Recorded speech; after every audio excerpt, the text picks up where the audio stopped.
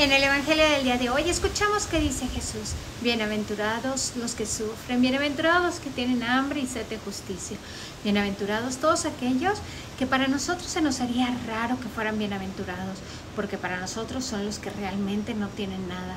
Para nosotros, los que estamos tan apegados a la tierra, sentimos que los bienaventurados son los que tienen tantas cosas, que tienen dinero, que tienen posiciones. Pero Jesús nos recuerda que lo importante es no tener el corazón pegado a la tierra. Jesús quiere hoy recordarte y recordarme a mí también que lo más importante es seguir su voluntad, es tener nuestro corazón pegado al suyo, que lata al mismo ritmo que el de él. En la primera lectura del apóstol San Pablo a los Corintios, escuchemos que dice, el que esté casado, que se quede casado, pero el que esté soltero, que se quede soltero. Y decimos, pues es normal. No, para, para en, aquellos, en aquel tiempo no era lo normal, porque todos se tenían, todos tenían que seguir una sola regla, todos se tenían que casar. Y San Pablo dice, que todos se queden como quieran, pero que todos alaben al Señor, que todos se apeguen al corazón del Señor.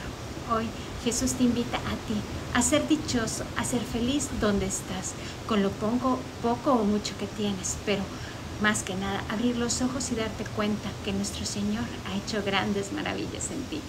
Yo soy Gisela y recuerda que lo mejor está por llegar.